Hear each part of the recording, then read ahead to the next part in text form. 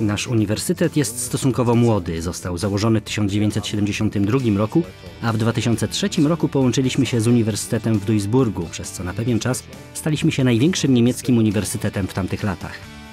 Obecnie mamy około 35 tysięcy studentów. Jestem dyrektorem działu rekrutacji i egzaminów na tym uniwersytecie. Dział ten zatrudnia około 70 pracowników, którzy zajmują się takimi sprawami jak zapisy studentów, a także dopuszczanie do egzaminów i prowadzenie towarzyszącej temu dokumentacji oraz wydawanie odpowiednich zaświadczeń. Chcieliśmy ulepszyć stary system, wprowadzając nowe legitymacje. Nie chcieliśmy już stosować papierowych biletów, więc zamiast tego mamy teraz kartę chipową z biletem elektronicznym. Co okazało się szczególnie ważne, że dzięki tym nowym legitymacjom udało nam się wyeliminować jeżdżenie na gapę środkami komunikacji miejskiej. W efekcie nie używamy już papierowych biletów i legitymacji, których podróbki można było kupić za parę euro. Uprościliśmy procesy, wprowadzając jedną wielofunkcyjną kartę pełniącą wiele różnych zadań na terenie uczelni. Nowe karty identyfikacyjne używane są przez studentów, pracowników i gości. Możliwości ich wykorzystania są ogromne.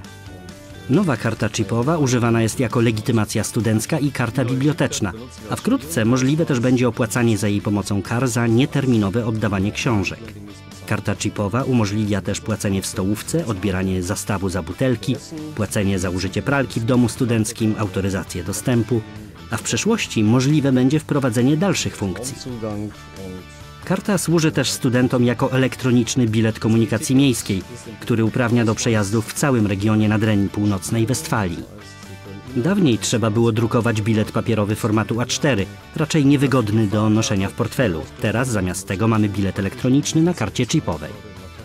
Wybraliśmy te drukarki kart korzystając z polecenia naszego partnera, firmy Intercard, która powiedziała nam o niezawodnym działaniu drukarek Zebra.